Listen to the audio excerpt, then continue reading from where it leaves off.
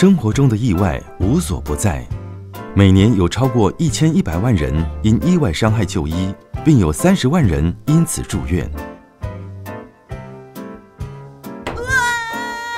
每五十秒就有一人骨折，其中以年轻人比例最高。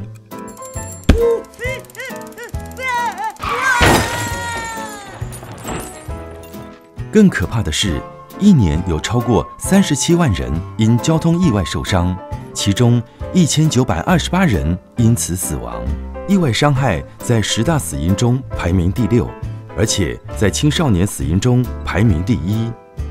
人生中大小意外的风险随时存在，还好，国泰意外险帮我们以小金额换取全方位保障，为无可预知的意外做好打算。